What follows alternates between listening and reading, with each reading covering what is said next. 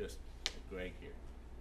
When the first DDG came to Eastport, uh, the captain was concerned because it has a huge sonar dome uh, made out of rubber under the bow. It's the largest rubber casting in the world to this day. The Navy bought a Guppy aircraft so they could, it has extra wide sides so they could get this rubber in and fly it from the manufacturer to the shipyards in Bath and to the shipyards in Pascagoula that make these, and to the repair yards when they need to get repaired. They uh, draw, it's a, the DDG normal draft is 25 feet, except for this piece of rubber that sticks down the bow, and it's 33 feet deep there, maybe 34, depending on the ballast, uh, on the fuel load. Aft, they have two screws that hang down, and they're drawn 27, 28 feet. So it does stick way down below the hull. At the front of our dock here, at the time, before we rebuilt it, we had 39 feet of water. I had the state police dive team come and uh, Marine Patrol, and they dove the entire pier to make sure there were no obstructions. People have dumped safes off pier, they've dumped cars off the pier. There's been a lot of different things that we've found in these security sweeps. And they want to make, and this is before 9 11, but they weren't as concerned about bombs, but they were really concerned about something in the water and having one of these ships sit on it. So the captain said, well, it's a minus two foot tide today. So instead of 39 feet, now you've only got 37 feet. And he says, I'm concerned that we have calculated this correctly, and I would like to have a diver go down and look at the bottom.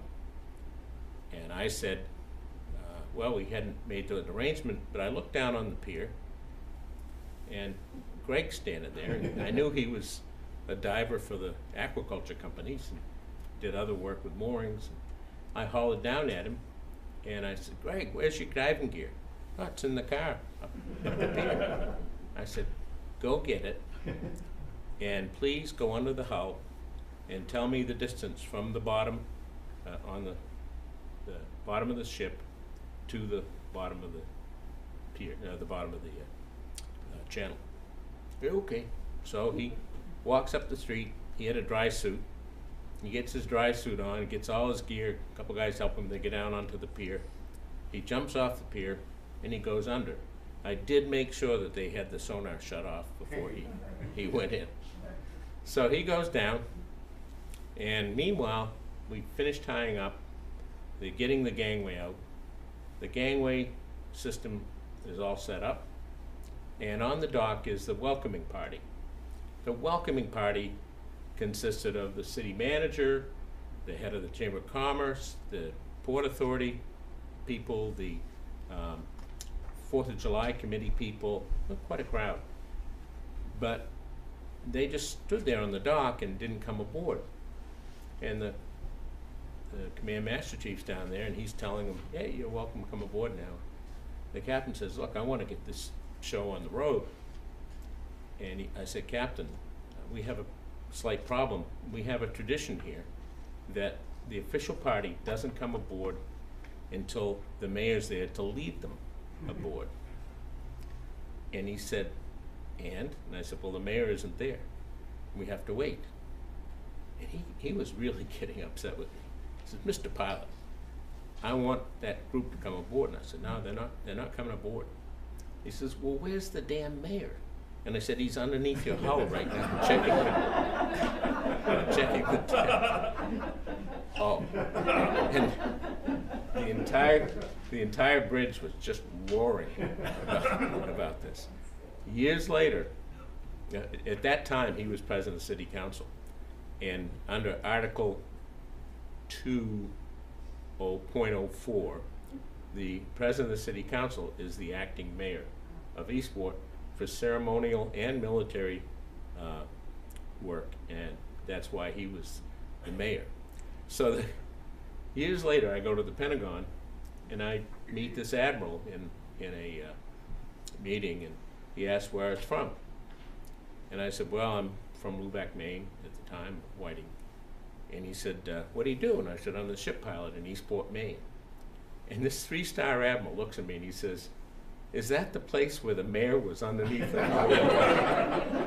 This story went across the Navy. So, thank you for that. You, you were very helpful. Yes, sir. What was the clearance, do you know?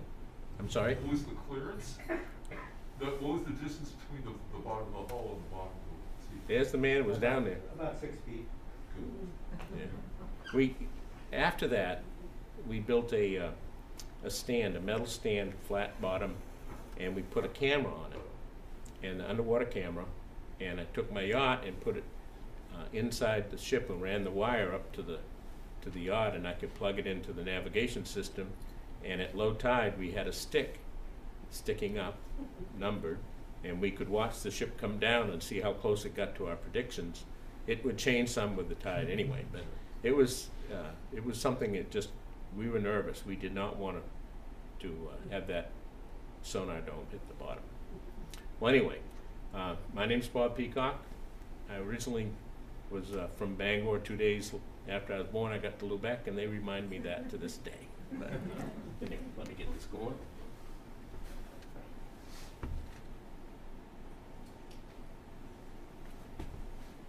Yeah. So I'm gonna try to go through this fairly quickly, but I wanna do quite a bit about the history, because those of you that are from here probably know some of it, but there's a lot to it. And our history goes back uh, at least till just after the Revolutionary War. We know for sure that after the War of 1812, we had ships come here. Uh, the War of 1812 didn't end in Eastport until 1819, when the Brits finally got booted out of here. But they, uh, after 1819, there were calls here um, that came for the Fourth of July.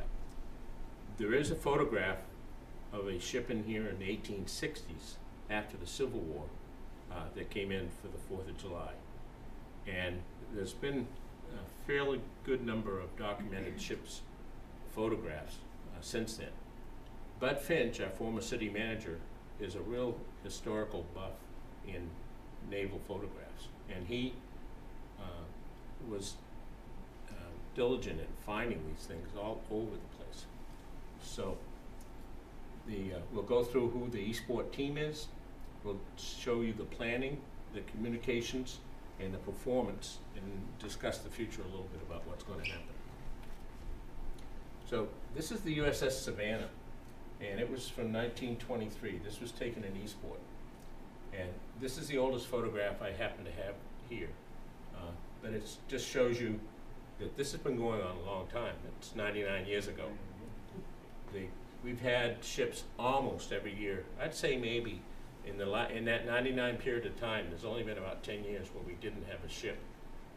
And that includes during the war, we had a lot of ships come here, not just, not so much for the fourth, but they were in the harbor. This is the USS S twenty-two submarine.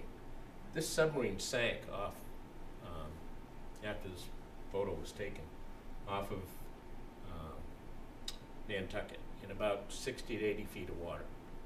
And over a three-day period of time, they were able to rescue almost all the crew, one at a time.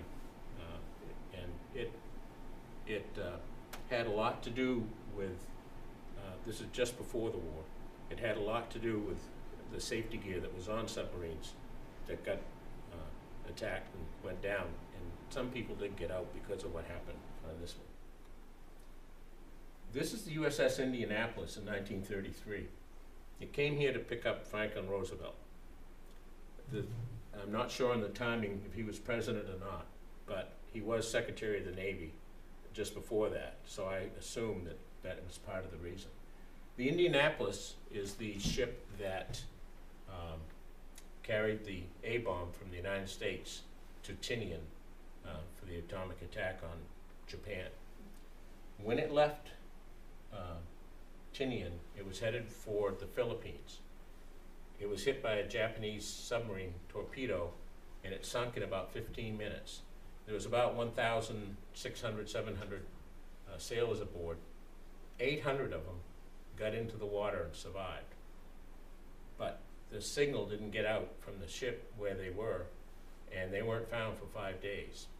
And in that five days, they went from eight hundred and some odd people in the water down to three hundred because of sharks. Sharks killed five hundred. And that, uh, so it's got a long history, but part of it was here in Eastport. This is the USS Corporal in nineteen seventy-one. I graduated from Maine Maritime in nineteen seventy-one, in May, May first. One of my classmates, a guy named Fred Terrian from Lewiston, he, um, in, he went right into the Navy as an ensign, and he got sent to this USS Corporal.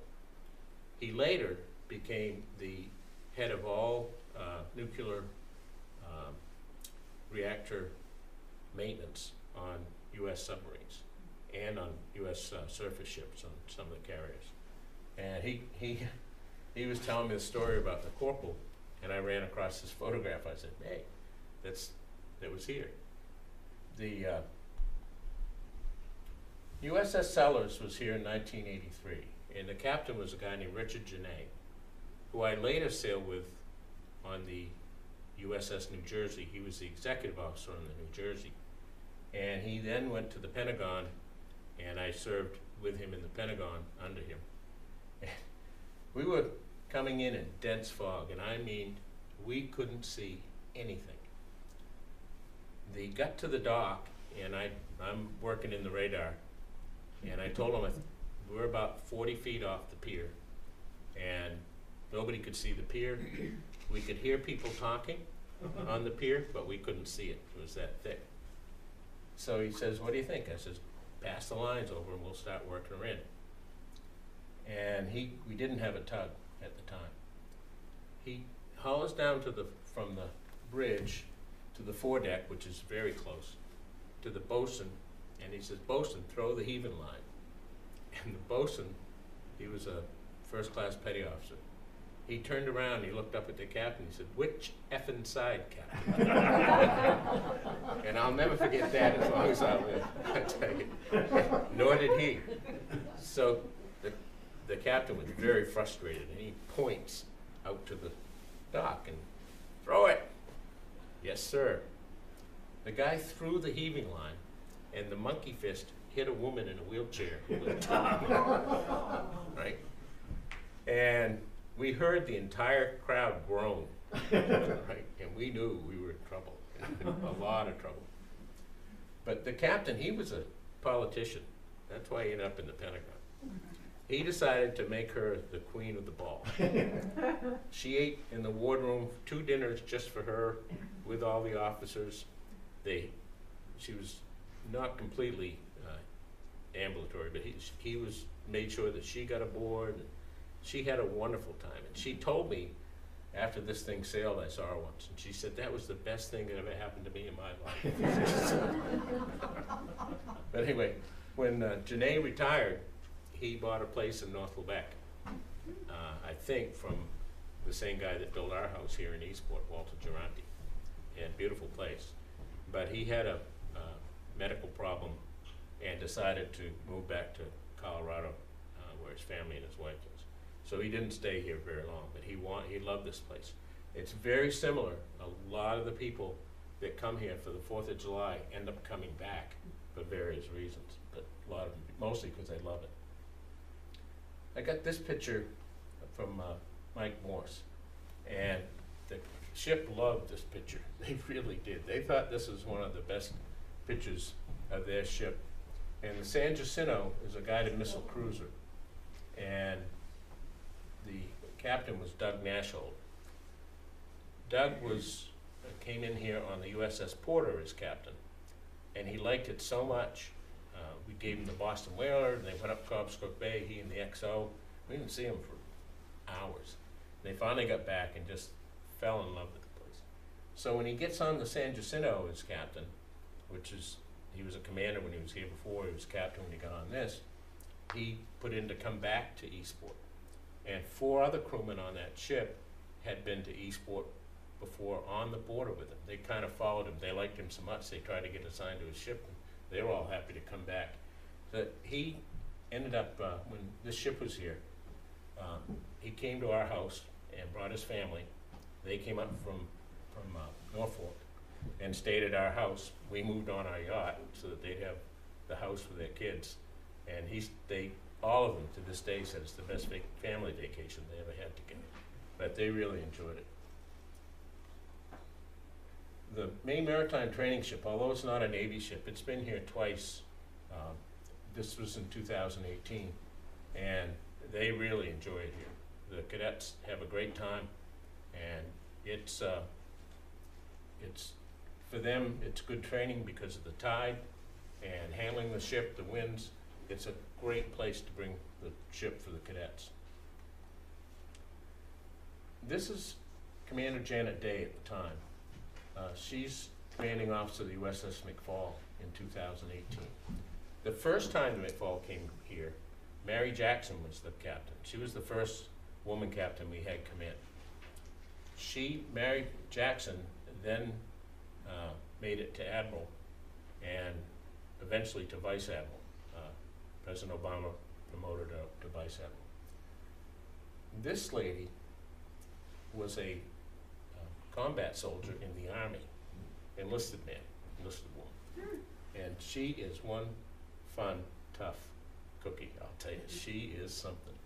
Nicest personality, but you could tell with the crew when she said something, they jumped. They respected her number one and they feared her number two. but she, uh, she just loved this place. And what we try to do with all the captains and the crews is get them away from the ship and have a good time in someone's home.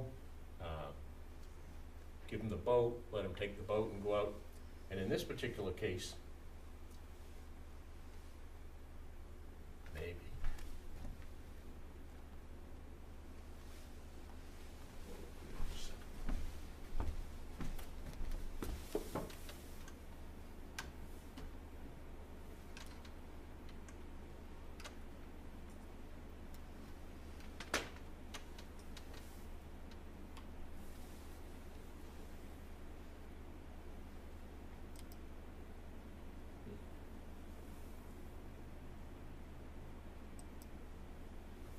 There we go.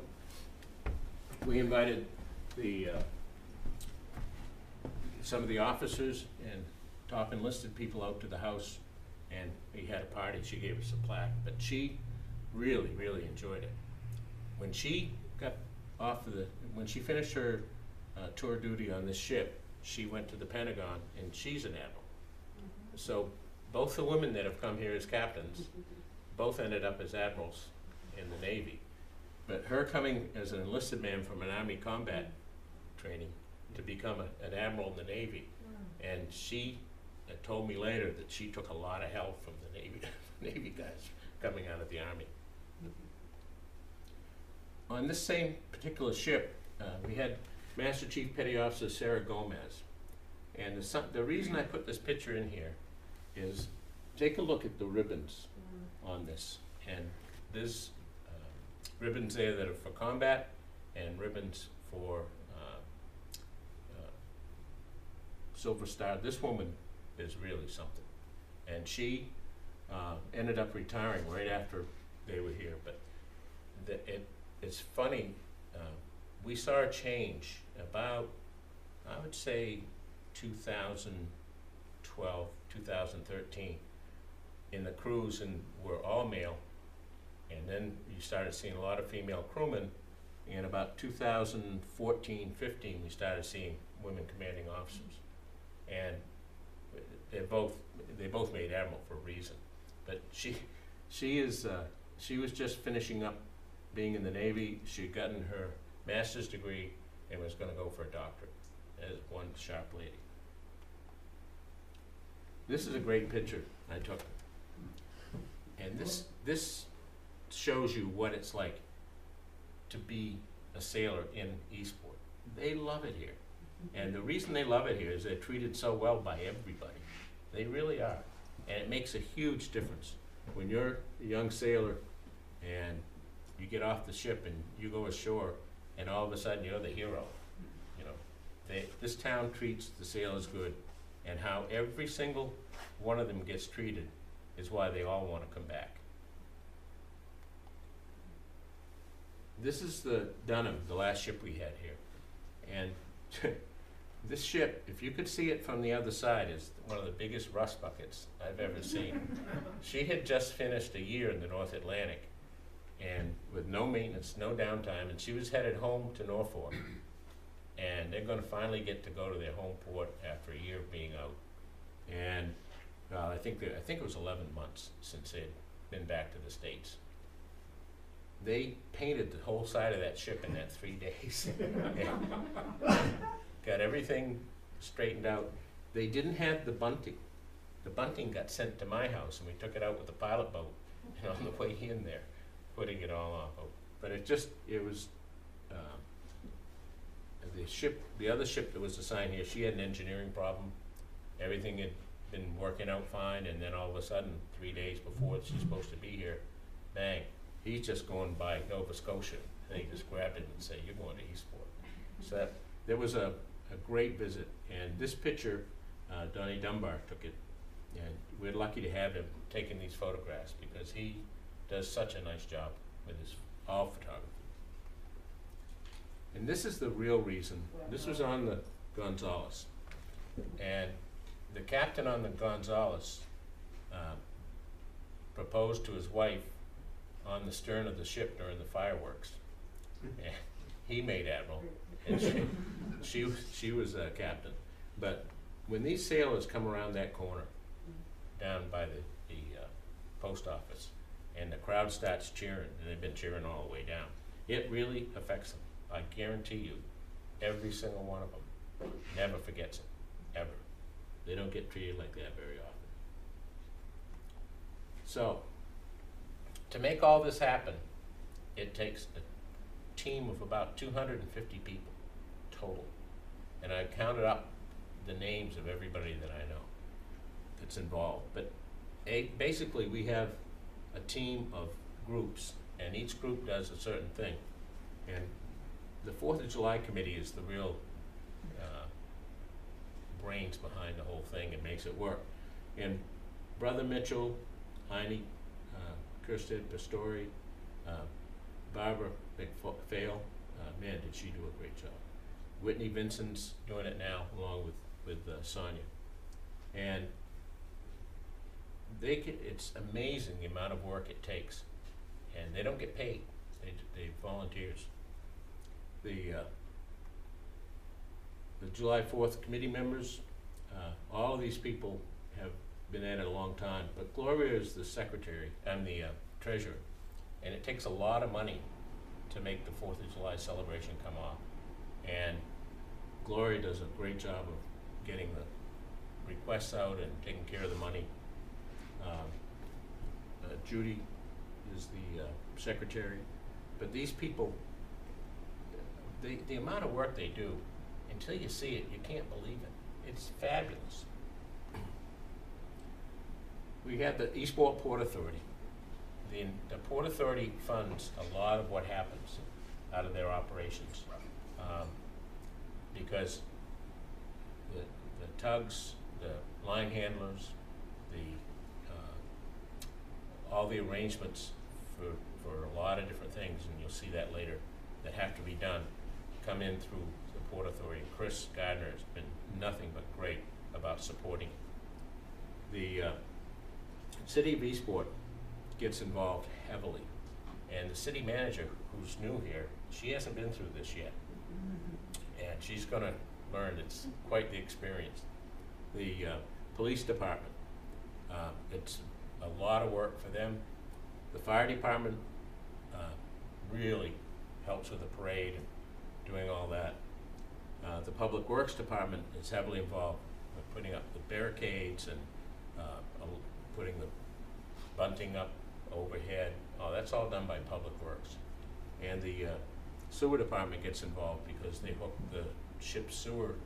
Uh, th- those ships can only hold enough sewage for two to three days. That's it. Then it has to either go overboard, it's treated, but it goes overboard, or it goes ashore.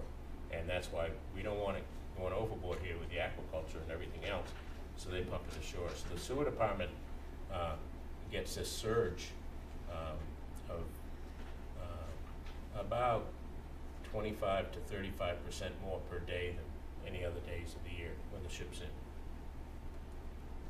The uh, security team, there's a lot I can't say about the security, but there's some stuff I can. And on this security team, the, uh, of course, we've got the police department. And the Pleasant Point Tribal Police, they are so good to us. They have more police officers than we do, and they put all of them, every one of them, on duty, night and day. And they're great. Uh, the Maine State Police Dive Team, I've worked for them now for thirty-eight years. They've come down and never have a question. If I need divers, they say what time, where, and they search the tugs, the bottom of the tugs. Uh, They search the pilot boat. Any vessel that's gonna go near or touch that ship is searched for bombs, for, for explosives, uh, both inside and outside on the hull. They also sweep the bottom uh, to make sure, they check the, the pilings to make sure nothing's attached to the pilings. This, that goes on usually starting at six in the morning on the, on the day the ship's arriving. And it takes about six to eight hours. And usually they use a couple, three tanks of air, each one of them. And there's about fifteen people in the dive team. Uh, Marine Patrol takes the dive team around, and some of the Marine Patrol members are a part of the state police team. The Mounties, International Border Enforcement Team, and they have two boats, and they usually provide us three guys in each boat or girls, and they uh, provide the security from offshore into the American waters. And they, I found out, a protester, that the Mounties don't have the same delicate sense of dealing with people that the Americans do. They, they had a guy who was protesting, and he had a, uh, two kayaks, and they had a sign up between them. And the two Mountie boats went in and they each picked the bow of the kayaks up and they pulled them onto the stern of their boats and they took them about five miles offshore between the Wolves and East Quoddy Head. And they set them back down in the water and they said, protest away, have a good time, you know. I don't think you'd get away with that in the States, but, uh, the Coast Guard Station in Eastport, there's twenty-one people there, we get all of them. Washington County Sheriff's Department, they provide usually around eight officers. Um, because this is a day and night thing, so you've gotta have at least two shifts, sometimes three. You got the Border Patrol, they're fabulous. I got a great Border Patrol story for you. They have uh, paddy wagons uh, that are basically, uh, they bring them down, they park them outside the bars, and they open the back doors, and they tell the sailors when they come out, you don't have, to they usually had a little bit to drink, and they tell them, you don't have to walk back to the ship, this is a taxi service. Right. Well, geez, the sailors kind of got nervous about, yeah, they, they, they were, when they got in the back of that, they were all looking nervous. So the next time, the next night when they come back, both of these paddy wagons have a big taxi sign they got up in Calais mounted on the top of it, just said taxi. you know. But that's the kind of cooperation, the sailors never forget that. They, they don't get treated like that in other ports, that's for sure. Uh, United States Customs officers, they always send down an extra four or five officers. Um, they're armed, they're trained, they really give us a lot better security.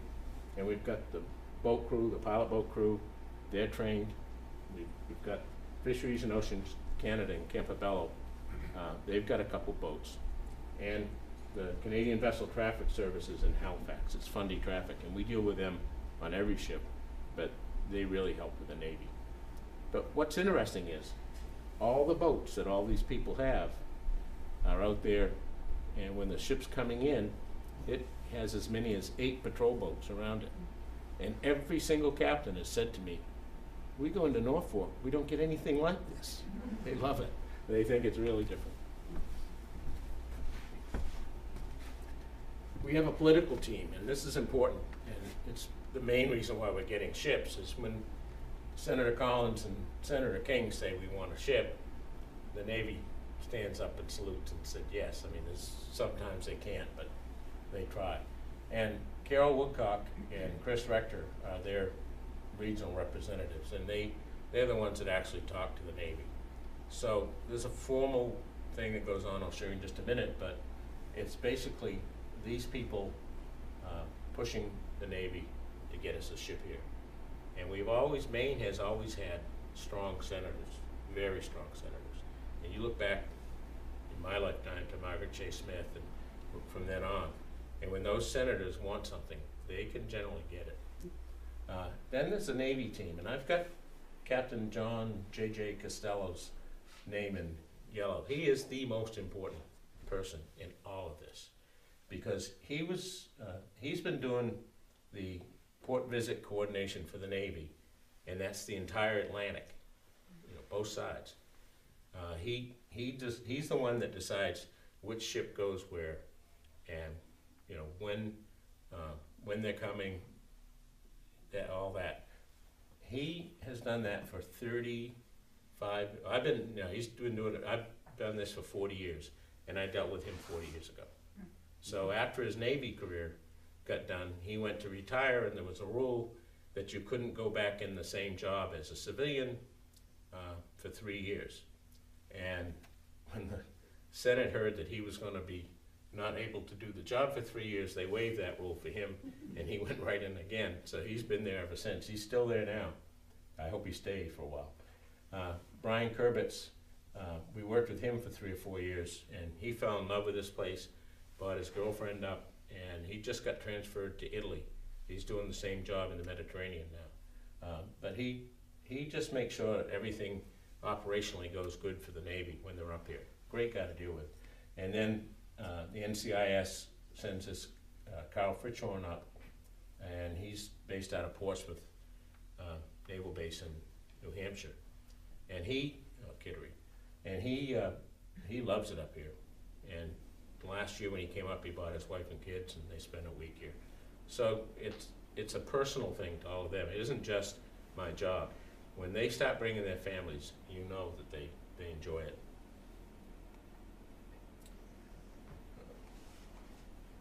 So, all of this comes from planning.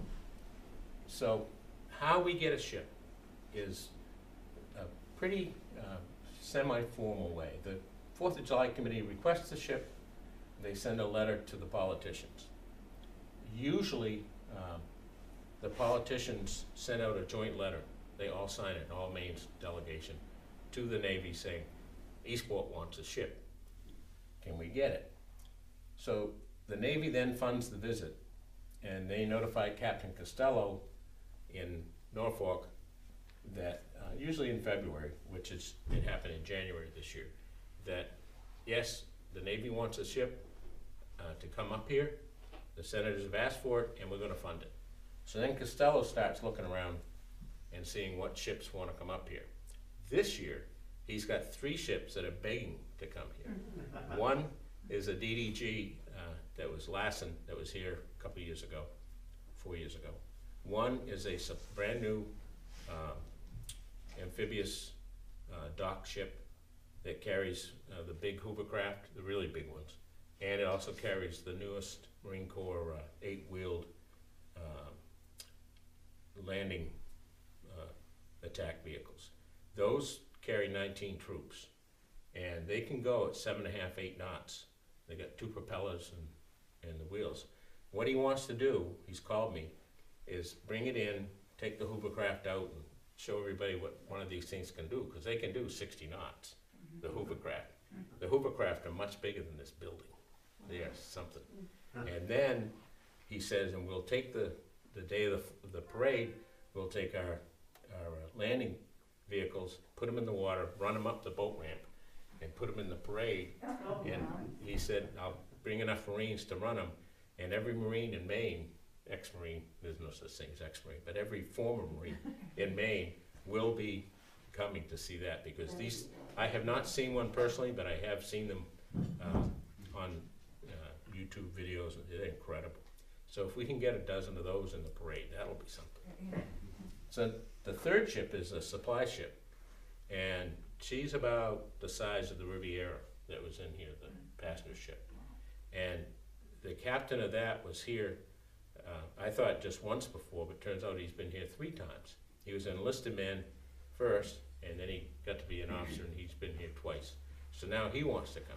So I got these three ships that are juggling around and all saying, "Tell Costello you want us," you know. so right now um, we have uh, Jesse that runs the the uh, food truck downtown. Her son is a sonarman on the uh, on the uh, first ship that wants to come to the last, the DDG. So there are relatives of people that want to come up here. Um, so once Costello uh, starts figuring out which ships are available, he talks to us, and then by usually the first of May, he's picked a ship, and he lets the senators, the vessel CO, the commanding officer, and the pilots know. And the senators then notify the Fourth of July committee and the city manager officially. The pilots uh, then contact the commanding officer, the executive officer, the supply officer, and the command master chief, and the Eastport Port Authority. And we start working the maritime side of this. Usually about the first of June, the dates are firmed up for what day they'll arrive and what day they'll sail. And that's important because of the tides.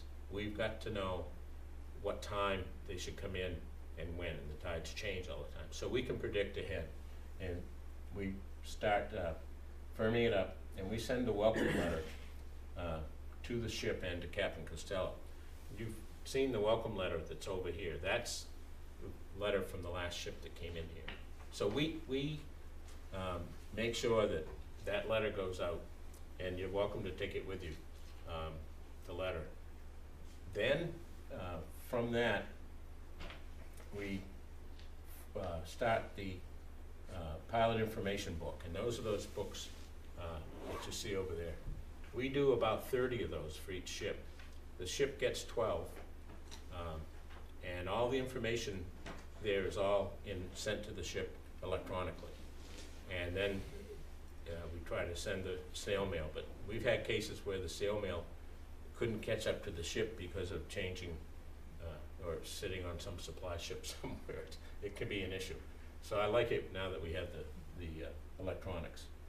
And then um, we have, we have a security meeting with all those security people. And sometimes there's as many as seventy uh, come down and we meet at the Port Authority and we start going over a security plan and what, uh, the NCIS comes and the Navy lets us know what they think the, the threats are, uh, what, uh, all the local, they all work together. And believe me when I tell you, there's so much involved in that that you never see. If you're, watch the parade here, you just never know what's really going on behind the scenes. So that, that's a very important part of it. And each one of the organizations gets one of those books for that ship. So that everybody involved, the ship, the officials, the, the security, uh, the city crew, the port authority crew, they all have that book. We're all working off the same, uh, timing issues, everything is in there. The only thing that isn't in there is the security plan. That doesn't go out. On communications, uh, Fundy Traffic is our, uh, we don't deal with the US Coast Guard here as far as handling ships. We deal with the Canadian Coast Guard. So Fundy Traffic is an ECAREG, which is the border crossing, uh, control for Canada. It's in Halifax. The Navy, as a military ship, does not have to report to ECAREG. They do have to report to Fundy Traffic. But I encourage them, and everyone has done it, if you tell ECAREG where you are, what time you're gonna be certain places, there's a good chance it's gonna lessen the chances of you having a collision with somebody else. And so far, every captain's figured out that that's probably a good thing, but you never know. I sent a letter to, uh, all the lobster fishermen, uh, both, uh, this last, last time, both sides of the border, uh, to let them know the ship's coming and this is the route, the route's drawn out, so that if they have gear and they leave it in on that route, and they can't complain if they lose it. These DDGs have propellers that stick out so far past the sides, And it's just like a giant uh, buzzsaw going down through if there's lobster gear there. Since we started doing this, we haven't had a single complaint from any of the lobster. Before that, we did, and it just live and learn, but we got that done. The other issue that's big for us is vendors. Trash pickup, which is a lot from the ship, providing water, sewer, uh, the power company has hookups to go, the tugs, the Chamber of Commerce, to let the, all their members know what's gonna happen. The radio and newspapers and fuel delivery companies if needed. Uh, and if these ships, uh, need fuel, usually, uh, Dysarts or Irving gets the call and they send, they'll send ten, twelve thousand gallon tankers now. And you, you're looking at a lot of fuel and a big bill. I don't know what it's gonna be this year, but I'm sure it's more. And we let the uh, Navy Support Facility in Bath know. Bath will send up, uh, if they need uh, vans, uh, and anything, Bath will send the stuff up.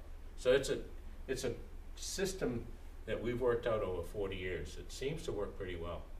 And the Navy just, the, the ships are just blown away. They are blown away by everybody working together on that.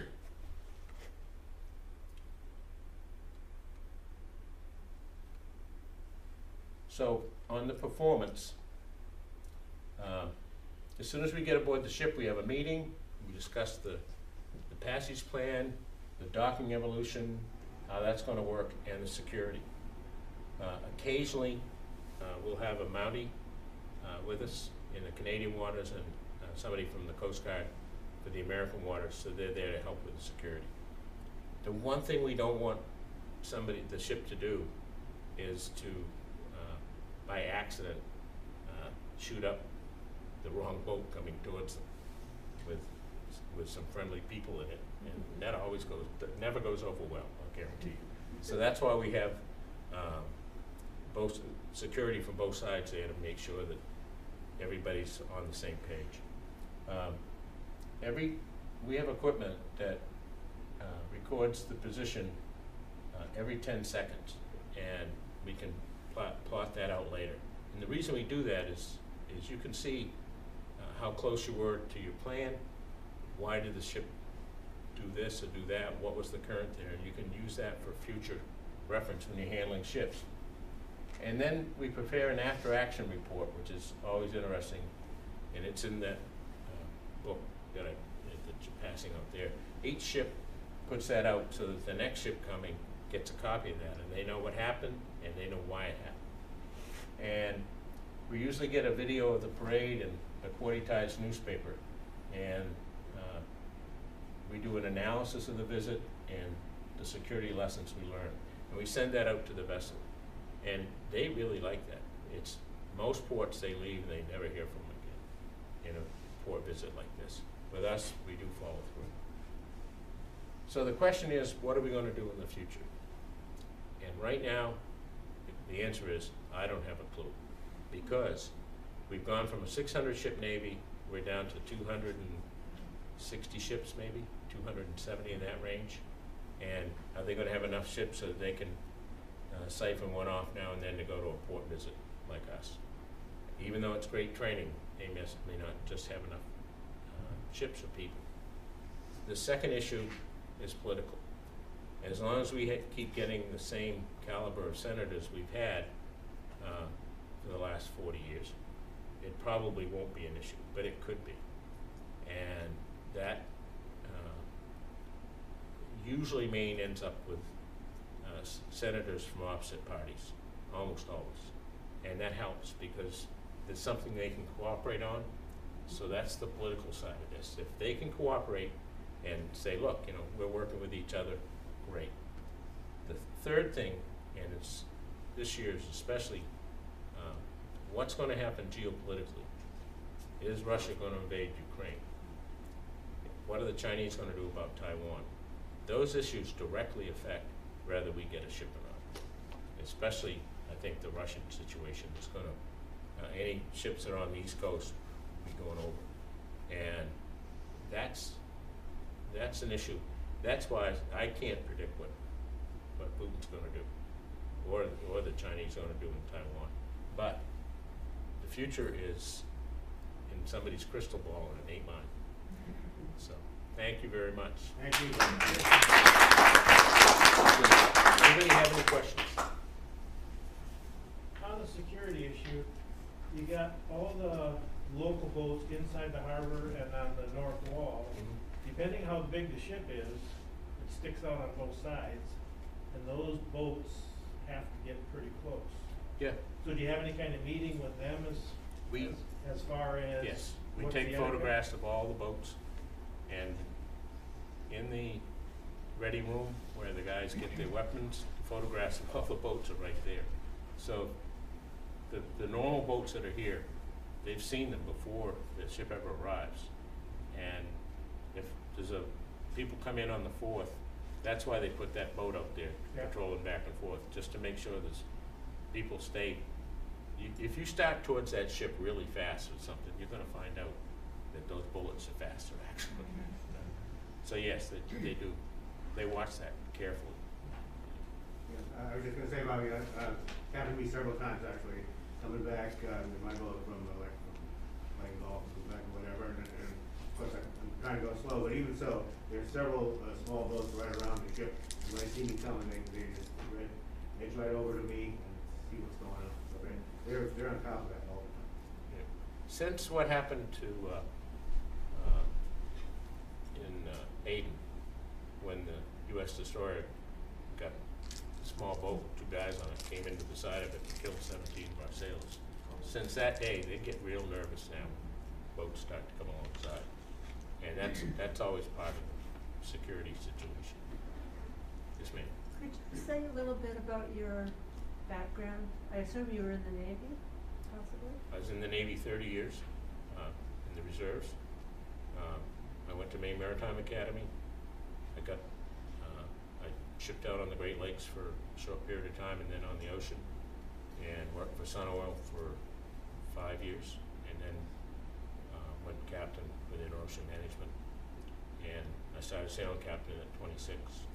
And I was captain of the largest ship ever to fly US flag in history when I was twenty-nine, to this day, you know, uh, just lucky. Wow. Um, but during that time, I was doing uh, active duty for training with the Navy. Uh, two weeks. We didn't have to do weekends because we were already at sea. So we, you know, they figured that that's a pretty good training. So, but through that, I got to go on a lot of different. uh, one year they would send me where they wanted me, and the next year I'd tell them where I wanted to go, and so we shifted back and forth. But almost all my time for them was as a training officer for ship handling in giant models, the sixty-foot models in uh, Little Creek, Virginia, or uh, working on uh, USS New Jersey. I was the merchant marine liaison officer, working with fueling issues, uh, security issues with the SEALs. Uh, we did a lot of training with the SEALs in Alaska, where I was captain of the merchant ship, a big one. And then the SEALs would come on at night, two hundred miles out of Alaska. They would drop in from a C-130, get in their rafts and come up and board us and practice all night long. And it was always interesting, you know. So it, it, uh, the Navy was very, very, very good to me. They, I got to go places and see things I would never have gotten otherwise. What kind of things did you do in, you mentioned DC a couple of times. I was assigned to the Pentagon, um, working, uh, they had six patrol craft, no, seven. Uh, they're hundred and eighty foot long, uh, high-speed patrol boats, which they wanted for the, for the, uh, Persian Gulf, uh, for the Gulf War coming up. And my job was to charter a ship that sank. You bring them all on and pick it up and can take all eight at once with the crews and all ready to go. And they took it across and when they get to the Persian Gulf, they sink it and they all go running off. It worked very well. But they, they, I saw things in the Navy that they were chartering ships during the, the Gulf War at, one of them was a ship that I've been captain on, at ten times the daily rate that it costs to run them. And all they had to do was offer the owner two or three times, and they would have got it. But no, they decided to go Well, it's like the Navy, it's always more expensive, yeah, they, so they, they, uh, they listen to us, they, that's what the merchant marine guys do, that's their living, they know it, the Navy doesn't. The Navy doesn't have a clue about the merchants, they really don't. So they bring in merchant marine officers as Navy officers, they're decent, so, so thirty years of that was fun, it really was, I was lucky, so. So the last couple of years, there's been a decrease in ship traffic mm-hmm. here, and how has that affected your day-to-day life, and then what are you expecting as, as they, are you expecting things to increase again? What's- Yes, I think in- What's the status there? based on what I, I'm seeing with wood chips, uh, from what the mill's telling us, they're gonna start up again in June, shipping overseas. Right now, everything from the mill is going domestic, everything, because the price is higher than what they can get in China. China's, uh, paper consumption has dropped dramatically because of COVID, dramatically. So, they found out they could sell it in the States. They've got the tissue mill, and they're gonna start producing, they, they've just been producing the giant rolls that are eight foot wide, sixteen feet long. They're gonna start producing the paper towels and the tissue in Woodland, so that's gonna take some of the production. But I think they'll come back in June, I believe we'll start shipping wood chips as early as May to Europe, uh, some to Dominican Republic, different places. And some chips go for, uh, for making power because they're carbon neutral. And in Europe especially, they don't wanna burn oil or gas if they can burn wood, believe it or not. So that's a big issue. So I think that'll change. The passenger ship situation is, Tess can tell you, is, it's up in the air. We know that, uh, at least two ships, uh, wanna come here for about eight or ten calls. But what we don't know is what's gonna happen because, uh, Bar Harbor's given the ships a terrible time about coming here. And they're looking, uh, there's a guy here in town right now looking. So I think there, um, there's a big chance that we will see more ships, uh, passenger ships, cruise ships. If not this year, then certainly next year. There's, we already know that there's companies that, uh, wanna come. The problem for the cruise ship companies is they're in such a mess with the, with the CDC that they just don't know what to, what to do. And it's, uh, it's an issue that affects us directly in this town. And believe me, she can tell you, it's affected me directly financially. And So you're just out playing golf all the time? no, not quite. But it's, uh, but it's, Portland's in the same boat. Portland had hundred and twenty cruise ships two years ago. They had none last year, none so far this year. Uh, Penobscot Bay's in the same boat. Bar Harbor is really, Bar Harbor had no ship. We had one cruise ship here. We had more than the rest of the state combined. That was it, you know? So it's, uh, it's been a real issue. Also, the pulp mills in, uh, that go through uh, Penobscot Bay and through Portland, they've all switched to domestic sales. So they're in exactly the same boat with pulp, which is a big commodity leaving Maine. So it's really had an effect on the state. It's tremendous. Not so much in the pulp mills workers, but the truckers, uh, and the shipping has just been devastating. So, but I've had good years and I've had bad years, like anything else. That show me the business that doesn't have that, and it'd be one night, oh, they work for the government, you know. That's The not- improvements to the fish pier, is that still in the design, or is that fund, implementation funded, and if so, when? and- I, I don't know this week what's happened, but definitely the, the plan, the planning has been contracted the, plans. Uh, so, and it's pretty expensive just to do the, the planning. The planning for the wing wall that comes off the pier to protect the harbor from the southeast, that was all done in the original plan for the pier. So that's finished and ready to go. So what we're hoping is we'll get a grant to do both. And then that would help because we can, uh, bring in some more vessels the size of the, of the one to Pauline that's down there now.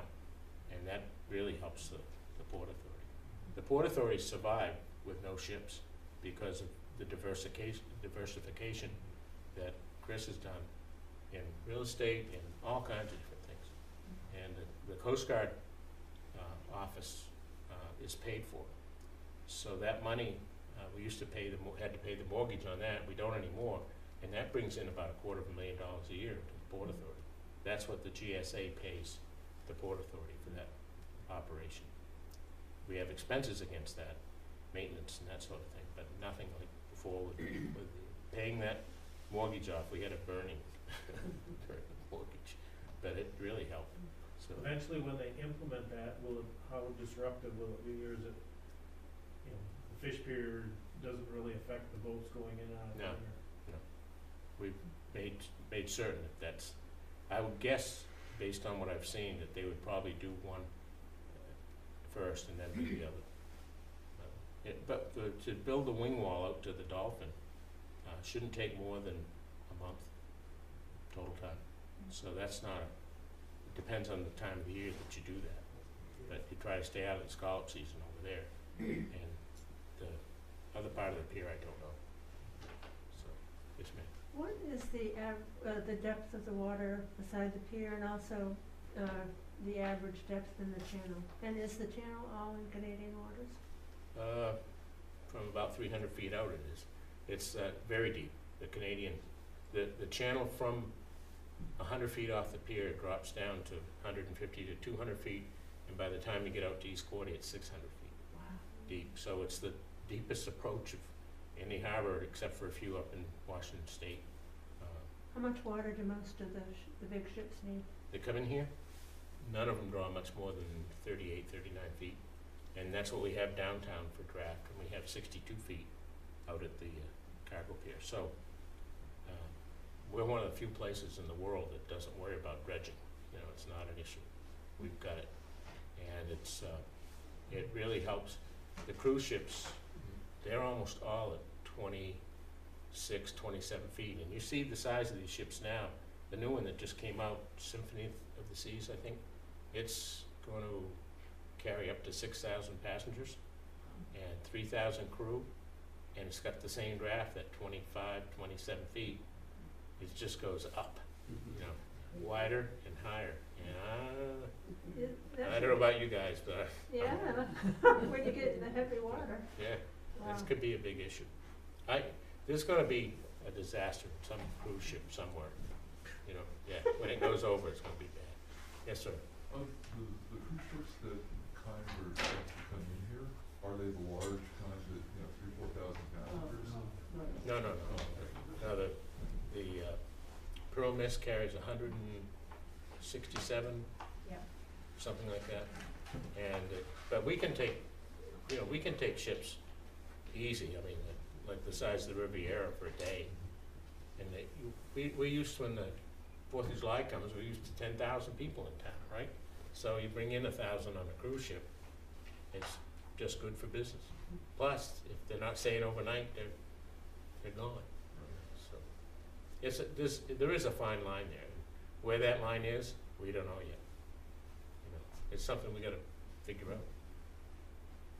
Anybody else? Yes, ma'am. Uh, when you're in the process of lining up the ships, you said something about sending out a pilot's information booklet? Yeah, that's the, the book that's over there. Oh, okay, that's Yeah. what you send them? Yes.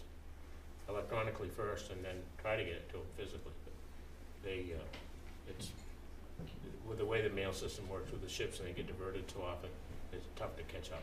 So is it all about navigation in that booklet, or or is it what? Everything. Everything, okay. Take a look. Okay.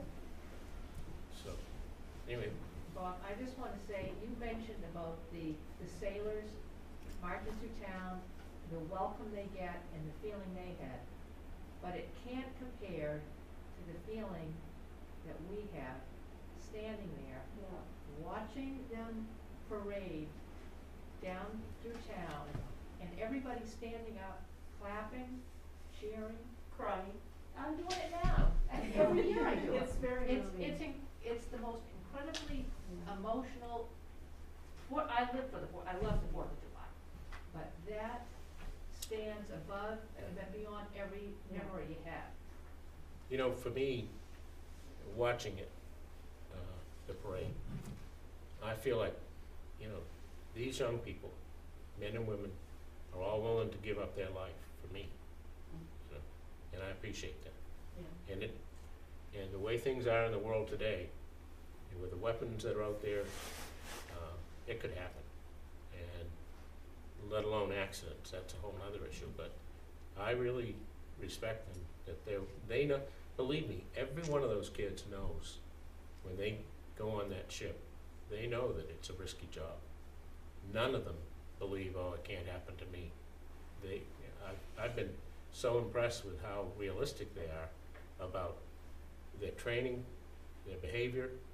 Uh, the behavior of the sailors now in port is so different from forty years ago. It's unbelievable, the change. But they're much more serious. And the other issue is, they, the equipment that they're handling now in these ships um, is just amazing. And it's all electronic. Um, very, uh, very little hands-on weapons. It's all missiles and the Nulka system uh, on these DDGs projects the ship electronically up in the air, about 500 feet above the ship. And the entire ship, if you look on radar, that's the target. That's where the missile's going to go, and it goes 500 feet over the top of you and it's gone. So I got talking to this kid downtown. He said, "What do you do?" He says, "Ah, something you never heard of, the Nulka." And I said, "Ah, it's the Australian system that projects the ship up overhead. And is it the Mark One or the Mark Three that you're working on?" I was in civilian clothes. The kid didn't have a clue. And he says, "That's top secret." so not quite, but but having seen, I I got a demonstration uh, when we were going out of what that system does, and it's incredible. And you know, some kid sitting there at 18, 19 years old, making this entire ship disappear and go up 500 feet. Mm-hmm. So that's the kind of stuff that they're trained for and that they're doing. That, you know, it was tough in, in World War II, Korea, those days, Vietnam, but it was all hands-on physical weapons. Now, there's very few physical weapons that they're using. It- it- More the, the guards around the ship, and that's about it, know. So the, I was on the Jersey, we fired the sixteen inch guns a couple times. And it took, each turret had fifty people in the upper turret, and then another 40, 50 down in the magazines down below the turrets sending the weapons up. So it took hundred people to fire those three guns in each turret. So there's three hundred people just in the turrets. And they had a weapons department of eight hundred people, just the weapons department.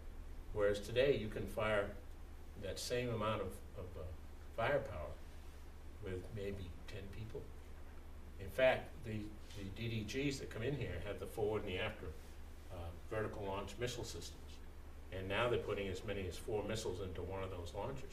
And they can put up five hundred missiles in one, one guy with one button, you know? You just pick which target you want and send it up. It's a totally changed world that these kids are going out in. And the training they get, um, I'm not familiar with the Army, a little with the Marine Corps, but the Navy, uh, training is just unbelievable. The schools are so good.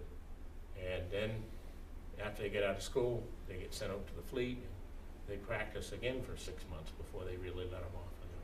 So it's a, it's a, for a kid that is looking for, for a good education, um, in the Navy, and then a good education after they get out that's paid for, there's nothing better, nothing. And it, unless it's the Merchant Marine Academy, Maine Maritime, it's a different world. Yes, ma'am. Thank you, Bob. Would you say again what the purpose is of projecting the ship up five hundred feet? So that when an incoming missile doesn't see the ship in, sitting on the surface of the Oh, water, okay. it sees the ship five hundred feet in the air, Ah, okay. and it So just right goes, over. goes away. It's, Interesting. it's a different world, you know. And they can make it not directly overhead, they can push it off to the side or wherever. Decor. Yeah, it's different. Thank you. Thank you very much.